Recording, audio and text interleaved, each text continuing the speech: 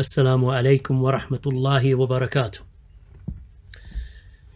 الحمد لله رب العالمين والصلاة والسلام على أشرف المرسلين وعلى آله وصحبه أجمعين أما بعد. Today we move on to the next hadith concerning the dua of the parents.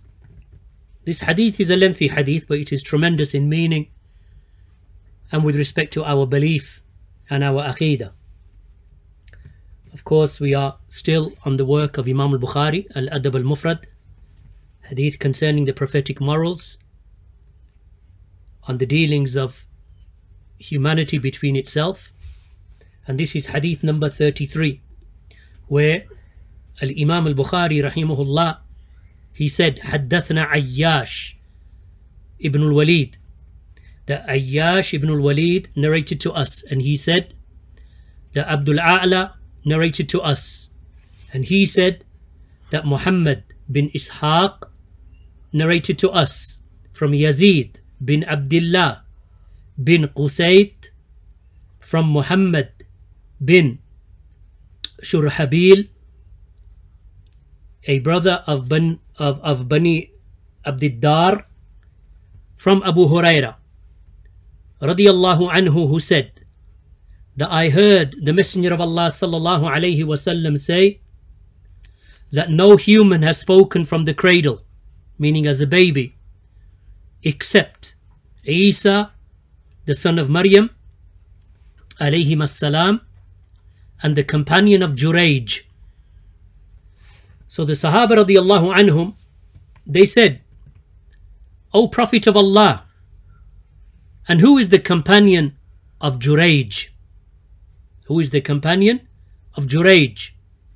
So the Prophet wasallam said, Jurayj was a monk who lived in his hermitage, where he used to, the hermitage, of course, where monks seclude themselves and live alone, and they worship Allah subhanahu wa ta'ala. And of course, this was related to a story or an incident that took place before the sending of the Prophet sallallahu. So this is from Bani Israel, or or an incident that took place amongst the children of Israel.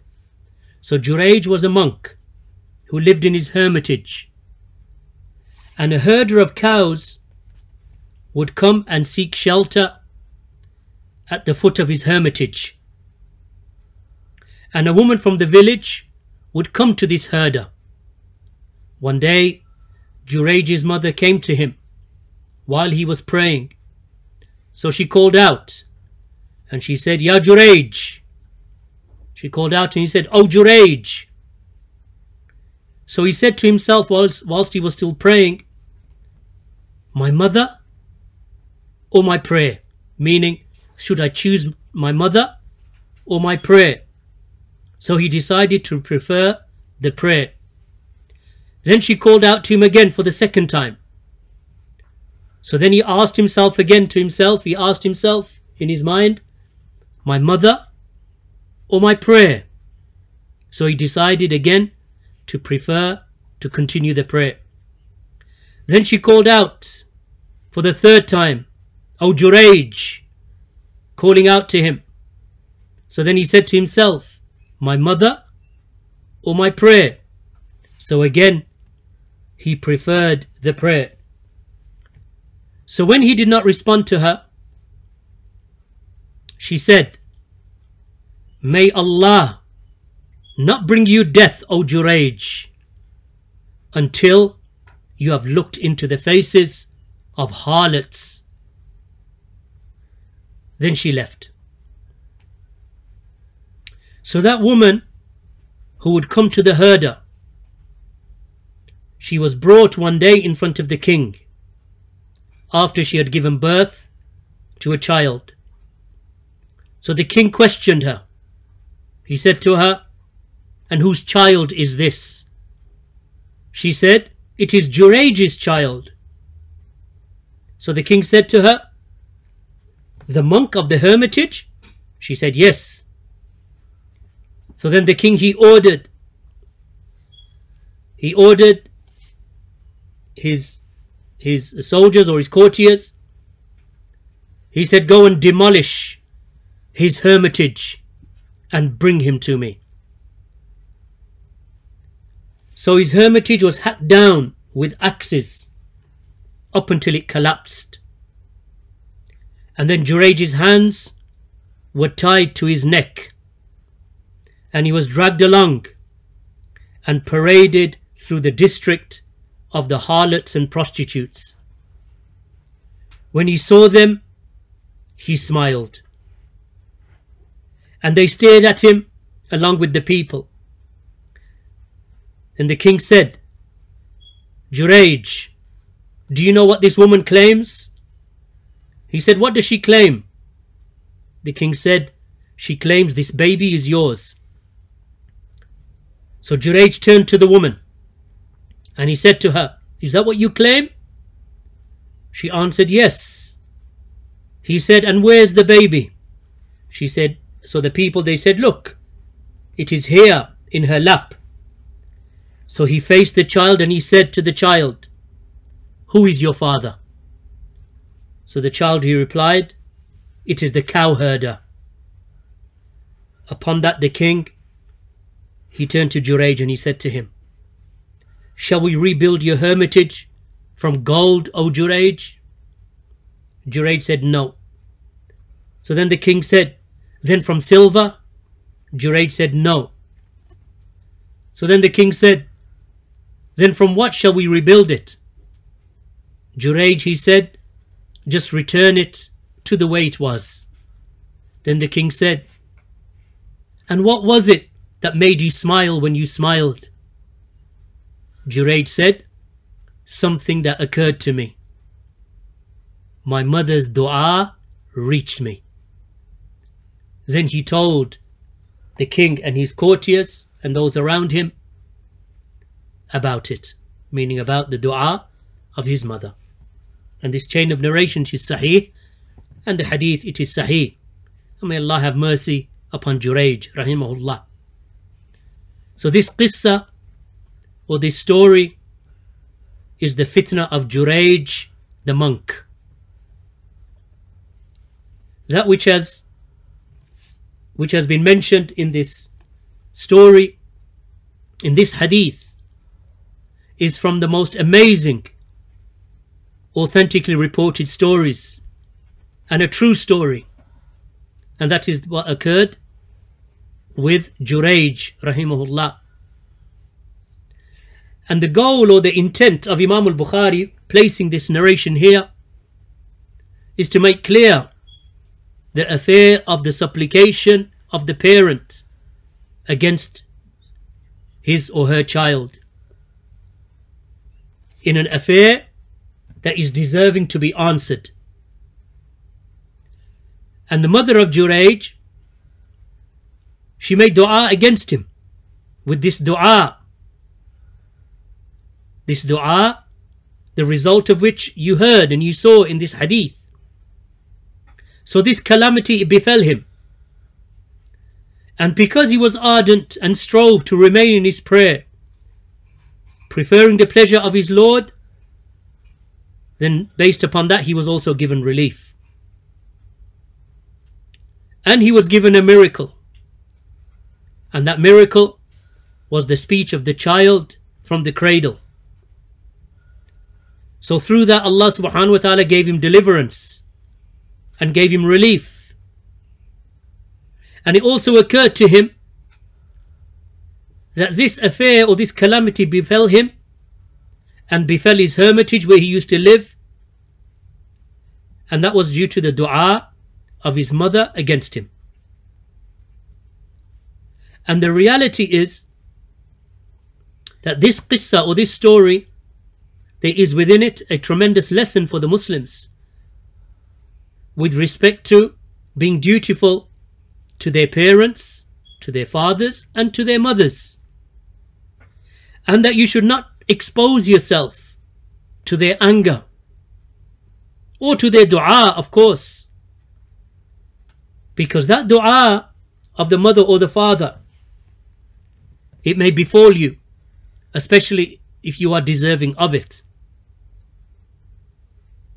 Naam.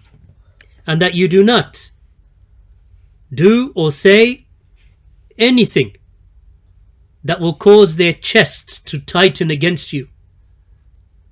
Do not cause your parents to feel restricted by your behavior and by your conduct. So, do not fall into that situation where one of them makes dua against you and therefore a punishment is hastened against you or that it is delayed till after your death.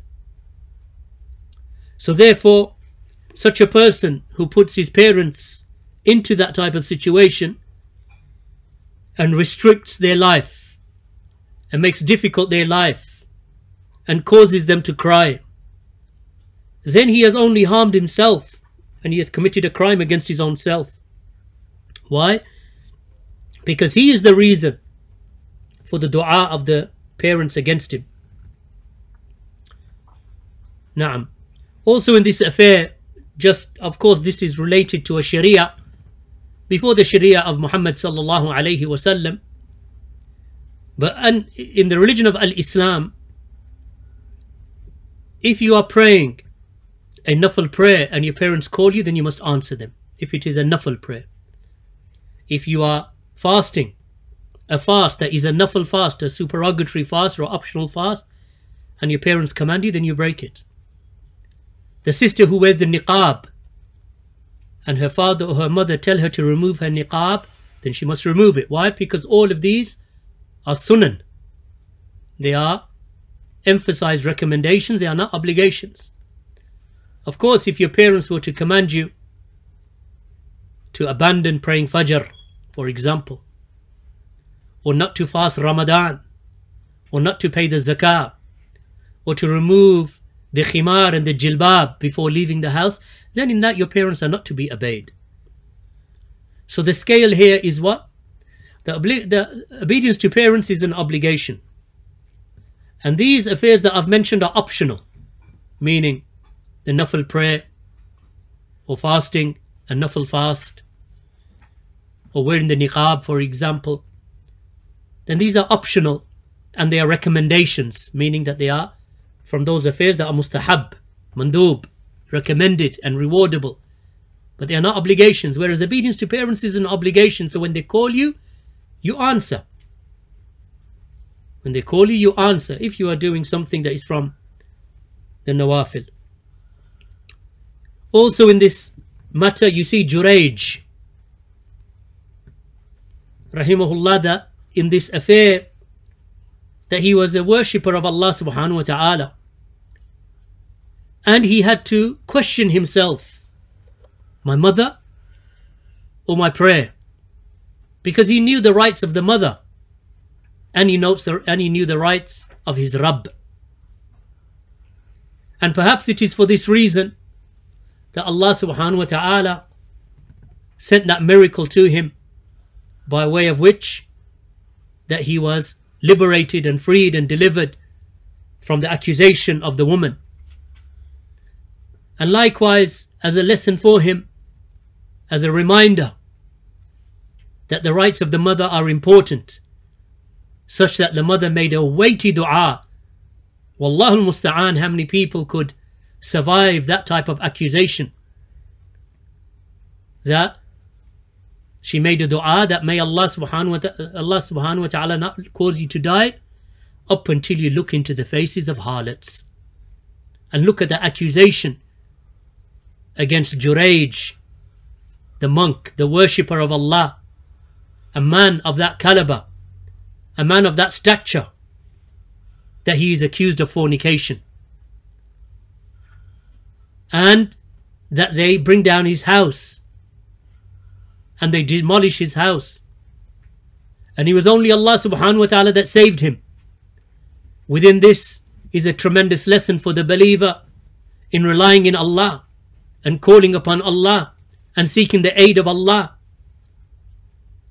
And you find that even in this period of hardship upon Jurayj, that when he saw that they took him through the district or through the area where the harlots were, that he saw their faces, that he caused him to smile. Why? Because Jurayj is a believer. And he believes that the dua of his mother has come true. He was not angry with the decree of Allah. And nor was he discomforted by the decree of Allah. Because he knows that this is the will of Allah and the dua of his mother. So this is why he smiled even in that situation of severe calamity and difficulty where he's been accused, where, where his house has been destroyed, or his hermitage has been destroyed. And then he faces the woman, his accuser. But he trusted in Allah, and Allah subhanahu wa ta'ala sent this miracle to him. As for the other person that the Prophet ﷺ mentioned, and he is the noble Prophet and Messenger from the resolute of all of the messengers, about whom the Prophet ﷺ said that the closest of all of the messengers to me is Isa, the son of Mary, Jesus, the son of Maryam. Alayhim. So he is the closest of the of, of the prophets and messengers to our messenger Muhammad sallallahu alayhi wasallam. And Allah subhanahu wa ta'ala has mentioned this affair of Jesus or Isa ibn Maryam speaking from the cradle.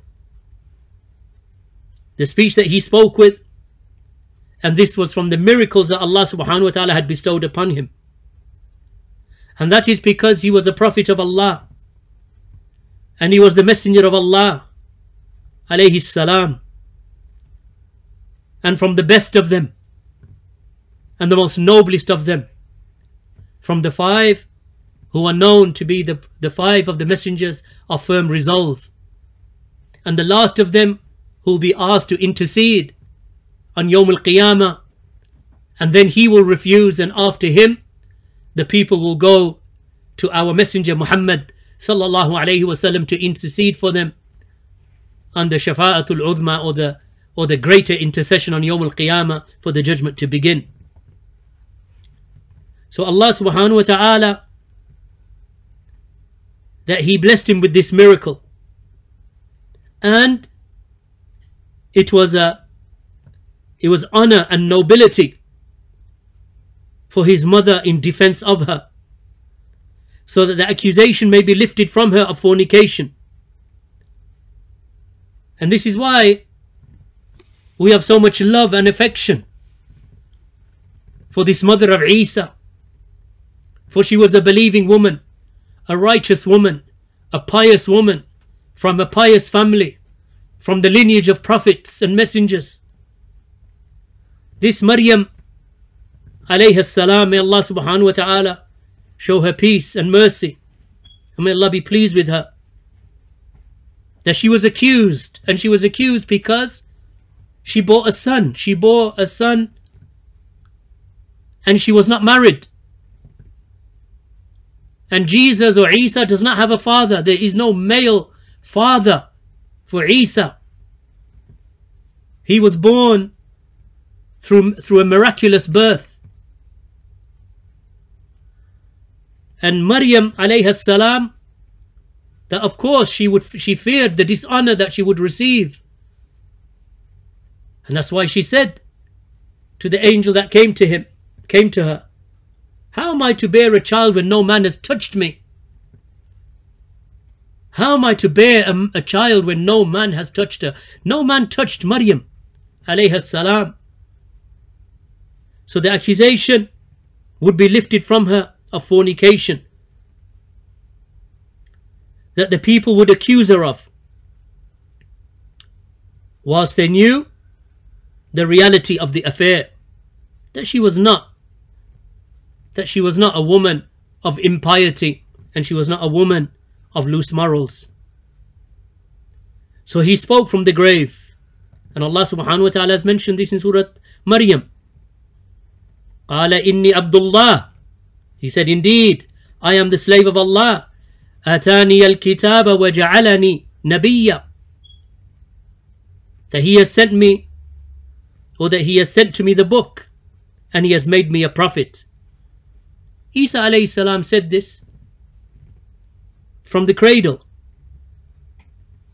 وجعلني مباركا أينما كنت وأوصاني بالصلاة والزكاة ما دمت حيا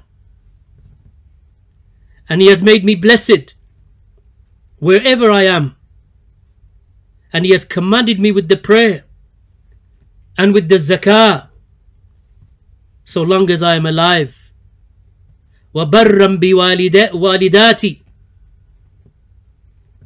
and Allah subhanahu wa ta'ala has commanded me to be dutiful to my mother. His duty towards his mother began in the cradle, my brothers and sisters. His duty to his mother began in defense of her. From the word, first words he uttered were in defense of his mother from the cradle.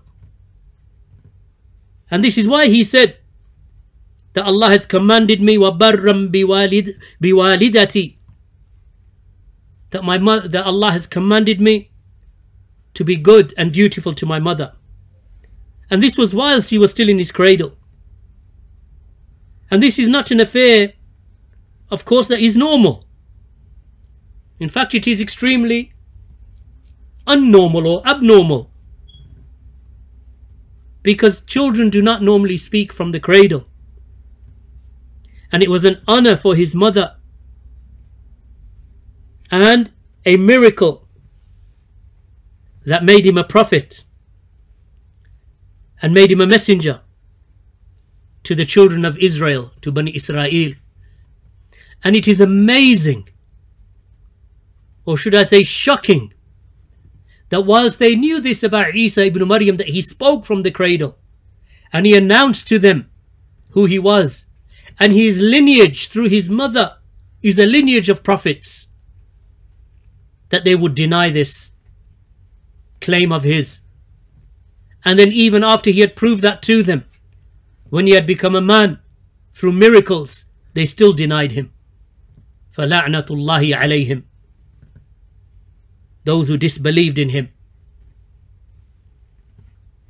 So,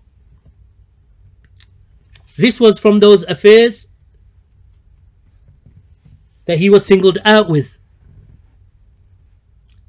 And then Allah subhanahu wa ta'ala raised him and he did not die.